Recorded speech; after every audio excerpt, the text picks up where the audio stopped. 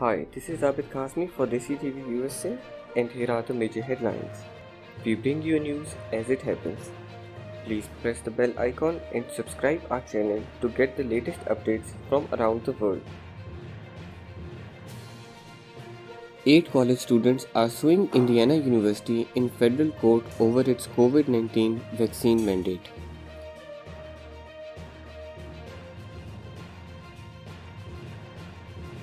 In a lawsuit filed on Monday in a US District Court in Indiana, the students claim mandate violates state laws as well as their 14th Amendment rights.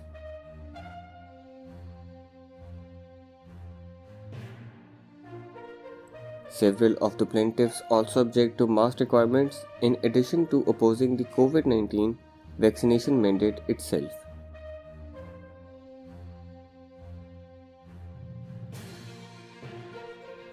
Last month, the Indiana Attorney General issued a legal opinion that Indiana University cannot require proof of vaccination.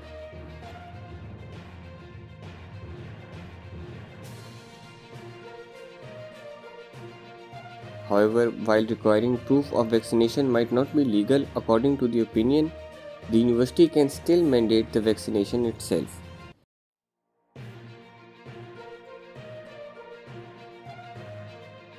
In the biggest test case so far, a federal judge in Texas dismissed a lawsuit by hospital employees who opposed a vaccine mandate as a condition of their employment.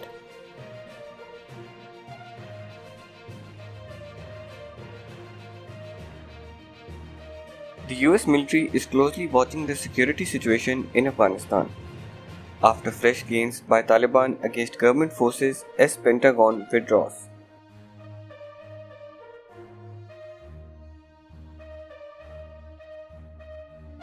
Speaking in Congress, Joint Chiefs Chairman General Mark Milley said 81 of 419 district centers had come under the control of the Taliban.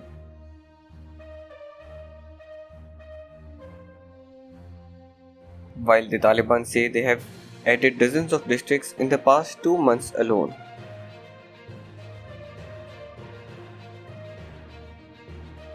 General Mark Milley said 60 of those had been captured last year before the United States began its final pullout.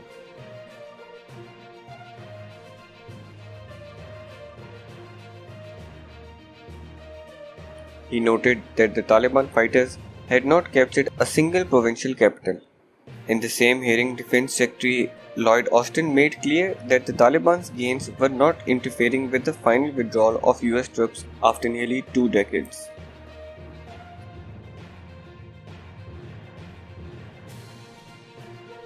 Pullout is already more than half done and is to be completed by September. We are focused and the task that we have at hand is to conduct our retrograde in a safe, orderly and responsible fashion, Austin told the panel.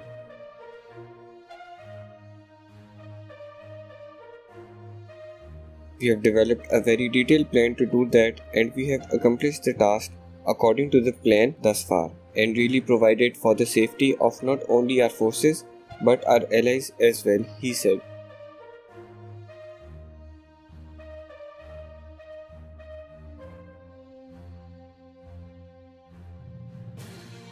Thank you for watching. For more news and updates, please click on our link tree.